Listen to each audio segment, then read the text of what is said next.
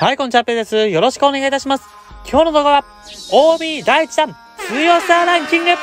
やっていきたいと思います。はい、昨日の更新でですね、激アツラインナップの OB 第1弾が登場したということで、今回の動画ではですね、OB 第1弾の全選手の能力を徹底評価して、最後にですね、ゲーム的に誰が当たりなのか、誰が強いのかっていうのをですね、ランキング形式で強さランキングとして発表していきたいと思います。でですね、この動画が少しでも面白かったためになったなと思った方はですね、チャンネル登録、高評価ボタンのほどよろしくお願いいたします。では早速本題の方入っていきましょう。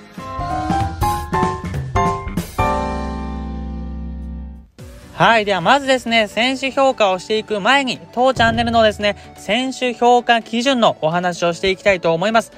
当チャンネルはですね、この1から5の5段階評価の評価をですね、0.5刻みで選手のゲーム的な強さの評価をしております。で、この評価をですね、リーグ、リアタイともにしてその合計値で強さランキングのランキング付けをしていくというようなやり方をとっております。で、この評価はですね、あくまでゲーム内の選手に対する評価で、現実の選手に対する評価では全くございませんので、そこだけはご了承ください。はい、では早速ですね、能力の徹底評価をやっていきたいと思います。まずはヤクルト、立山投手ですね。立山投手はですね、OB としては初めての登場となりました。で、立山投手の評価なんですが、リーグ評価4.5、リアタイ評価3とさせていただきます。はい、この立山選手はですね、TS 登場時よりもですね、請求がプラス2にされたことによって、請求がデフォルトでの A になっております。で、星2のですね、全力投球をつけることできますと、9位請求の79での同値が組むことできるので、まあ、リーグで使う際はですね、この星に全力投球が一番いい称号と言えるんじゃないかなと思っております。で、リア対面なんですが、まあ、スライダーカットを持っていて、さらに高速シュートを持っているので、まあ、純正的に考えるとね、純正の特に中継ぎ抑えもできますので、ワンポイントとかでの起用が一番いいのかなと思っております。で、続いて阪神、村山実投手ですね。はい、村山投手は OB として新規登場となりました。で、そんな村山投手の評価がですね、リーグ評価5、リアタイ評価5と、ともにね、満点評価とさせていただきました。能力がですね、9位から86、82、86ということで、デフォルトからのオール A、さらに9位スタミナの86での同値ということで、もうリーグ的にはね、文句の付けどころがないような能力となっております。まあ、球種の方はね、B 以上の球種が2つなんですが、まあ、それでもリーグでは本当に最強クラスと言っていいと思います。で、リア対面もですね、フォークの変化量がマックス、さらにスプリットも持っていて、さらにタイピンチを持っていると。で、さらに中継ぎ抑え適性もあるということで、この村山投手はね、リア対面でも唯一無二の投手になっていると思っております。で、続きまして、巨人、江藤選手ですね。江藤選手はですね、巨人版での登場は初めてとなりました。で、そんな巨人版のですね、江藤選手の評価がリーグ評価4.5、リアタイ評価5とさせていただきました。はい、能力の方がですね、弾道からアーチスト、ミート76、パワー80、走力67ということで、まあ惜しくもね、ミートパワーの A 同値やミートパワー A は狙えない能力となっているということで、まあリーグ評価はね、4.5とさせていただきました。まあですが、リアタイはですね、弾道アーチスト、まあね、特殊能力にプルヒッターは持っているんですが、まあアーチストでパワー A ということで、まあ間違いなく打ちやすい選手になっているかと思いますので、まあリアタイ勢の方はね、獲得おすすめ選手と言えると思います。ますで、続きまして、広島、山本浩二選手ですね。はい、山本選手は2年連続の登場となったんですが、そんな山本選手のですね、評価がリーグ評価5、リアタイ評価5の両方とも満点評価とさせていただきました。で、山本選手はですね、星4の安打製造機つけることできますと、86でのミートパワーの同値を組むことができますので、まあ、星4の安打製造機がですね、一番おすすめの称号と言えると思います。で、山本選手のですね、いいところが、まず守備ですね。センター適正が特殊によって A 可能。さらに、レフト適正が B 可能。で、さらに、裏捨ても ABB ということで、まあ本当にね、外野の中でもトップクラスのね、守備成績、守備査定を誇っております。で、さらにそれに付け加えまして、パワーヒッター、広角打法、回チャンスということで、特殊能力もね、かなりリアタイ向きの特殊能力になっているということで、まあリアタイ勢の方、特にね、右信者の方はね、この山本浩二さんの獲得、かなりおすすめの選手になっております。で、続きまして、中日ですね。中日は谷重選手が登場してきました。谷重選手はですね、DNA 版は登場していたんですが、中日版では初めての登場となりました。で、そんな谷重選手のですね、評価なんですが、リーグ評価3.5、リアタイ評価が3.5とさせていただきました。はい、能力見ていきますと、弾道から中弾道、ミート66、パワー74、走力61ということで、まあ、キャッチャーとしては珍しいね、パワー型での登場となっております。で、さらにね、守備適性も76、裏捨ても BBB ということで、まあ、かなり安定した守備を誇っていると思います。で、このですね、谷重さんのいい点といたしますと、特殊能力ですね。特殊能力に DNA 版ではなかった広角打法を持っているということで、まあ中日のキャッチャーで言うとね、アリエル・マルティネスさんとかがかなりね、打撃能力はゲーム的に強くなっているので、まあバランスを考えるとね、この谷繁さんが中日のキャッチャーの中では一番強いんじゃないかなと思っております。で、続いて DNA ですね。DNA はタイロン・ウッズ選手が登場しました。はい、権利の関係などで、まあ、登場どうなのかって言われていたタイロン・ウッズ選手なんですが、まさかの DNA 版、まさかのパワーヒッターでの登場となりました。で、そんなね、タイロン・ウッズ選手の評価なんですが、リーグ評価4.5、リアタイ評価5とさせていただきました。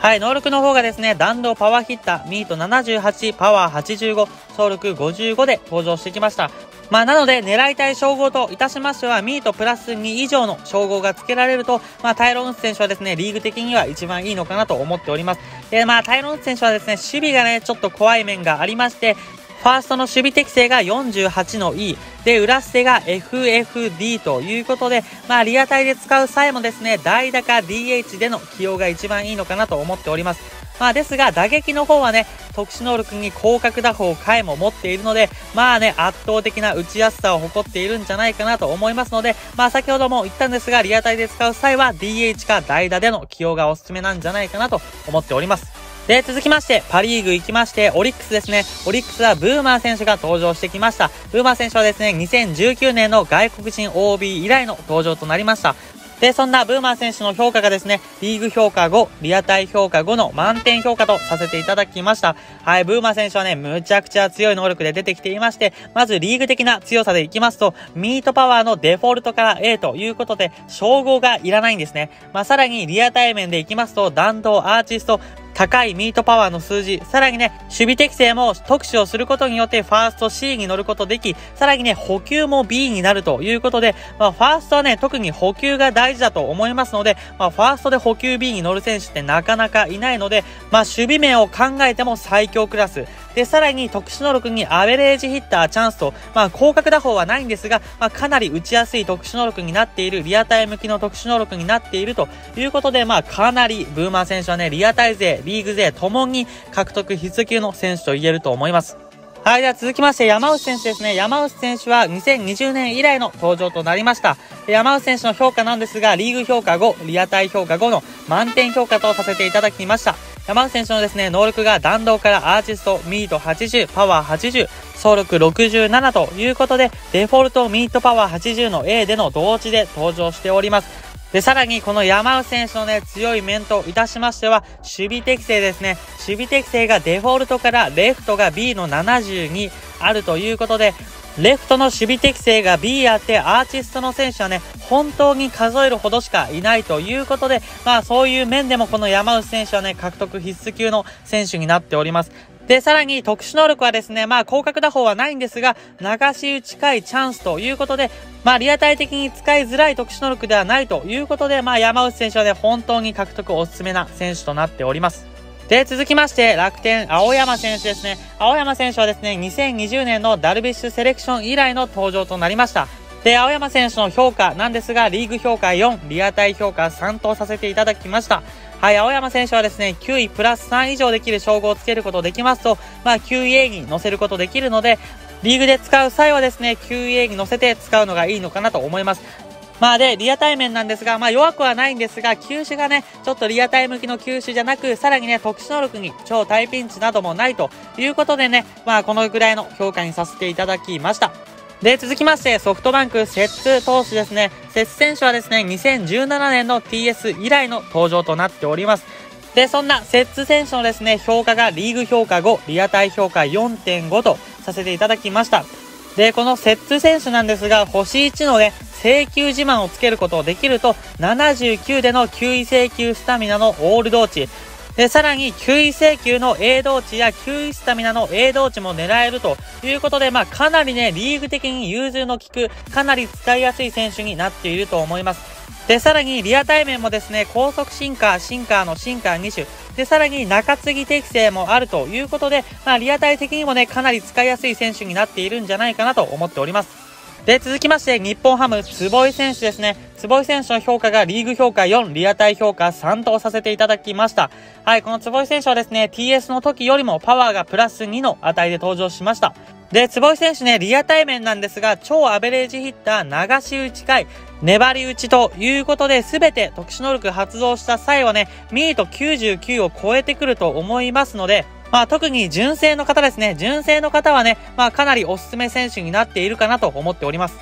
で、最後、埼玉西武ライオンズ森投手ですね。OB の新規登場となった森投手なんですが、評価の方がですね、リーグ評価4、リアタイ評価3とさせていただきました。まあ、付けたい称号といたしましては、9位プラス2以上でね、9位 A に乗せることできると、まあ一番リーグ的にはいいんじゃないかなと思います。で、まあリアタイ面なんですが、まあ球種がね、ちょっときついですね。まあタイピンチは持っているんですが、まあ球種がそこまでリアタイ向きではないということで、まあこのぐらいの評価にさせていただきました。はい、ではこれでですね、OB 第1弾の全選手能力徹底評価は以上にしたいと思います。はい。では最後にですね、強さランキングの発表をしていきたいと思います。OB 大ちゃんのですね、ゲーム的な強さランキングがこちらとなっております。1位、ブーマー選手。2位、村山実選手。3位、山内選手。4位、山本浩二選手。5位、タイロン・ウッツ選手。6位、江藤選手。7位、摂津投手。8位、立山選手。9位、谷重選手。10位、坪井選手。11位森投手、12位青山選手とさせていただきました。はい、本当にね、激アツなラインナップになっておりまして、まあなんとね、上位4選手が満点評価の10点ということで、まあね、この上位4選手はね、コーツつけがたい選手になっていて、まあかなりね、ランキングつけるの迷ったんですが、まあ特にね、上位7選手はですね、超大当たり選手と言えるかと思いますので、まあ累計やね、ガチャでこの7選手が当たった方はですね、まあ育ててリアタイリーグなどでですね、使ってみてはいかがでしょうか。ではですね、今回の動画は以上になります。最後までご視聴いただきありがとうございました。この動画がですね、少しでも面白かった、ためになった、OB 第1弾で神引きしたぞという方はですね、チャンネル登録、高評価ボタンで応援のほどしていただきますと、動画制作のモチベーションにかなり繋がってきますので、ぜひぜひ、チャンネル登録、高評価ボタンで応援のほどよろしくお願いいたします。ではですね、また次回の動画でお会いしましょうバイバイ